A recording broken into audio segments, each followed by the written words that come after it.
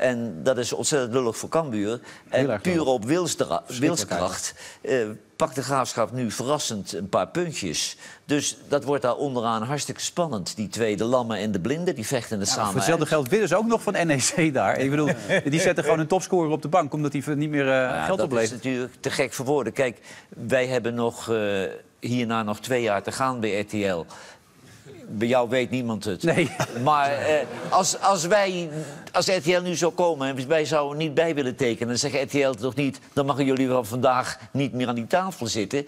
Je hebt getekend voor een bepaalde periode, daar doe je werkzaamheden voor. En dan zit er ergens een gek achter een bureau bij NEC... en die bepaalt dan dat hij niet meer speelt en die heeft niet door die clown, dat hij zichzelf in de vingers snijdt. Ja. Want in wel, de pauze moet de trainer dat alweer terugdraaien. Ik vind wel zo filena als je je hele jeugdopleiding bij Feyenoord doorlopen hebt... dat je ze misschien wel iets mag Juist. Ja, Dat vind dan ik wel. Maar die Dat- jongen zit er pas een half jaar. Precies, dat is een jongen die, die aankomen vliegen. van Hij, club hij naar zit wel club. zwanger. Maar het- Ja, nee, maar die is aankomen hij vliegen. Maar die jongen die hij doet zijn werk goed en die heeft een contract tot het eind van dit seizoen. En tot het eind van dit seizoen moet hij scoren voor NEC. En Ja. nou, NEC die, die vaart daar wel bij, want die jongen is verrassend goed. Ja. Maar hij speelde niet hè, bij Bever. Hij speelde er helemaal niet, jongen. Nee, hij heeft nergens Nee, gespeeld hij en speelt- ook nergens gescoord. Nee, serieus? nee.